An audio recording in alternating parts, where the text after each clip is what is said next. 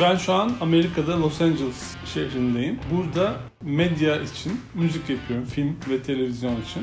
Ve müzik hayatına prodüktör olarak, besteci olarak Los Angeles'ta ve İstanbul'da devam ediyorum. Ben bu Oscar yarışını çok sevgili arkadaşım Yılmaz Erdoğan'ın Kelebeğin Rüyası filmiyle yaşadım. Buradaki sanata verilen değerin, nasıl büyük bir dünya olduğunu o yarışın içinde anlıyorsunuz ve bundan etkilenmemek imkansız.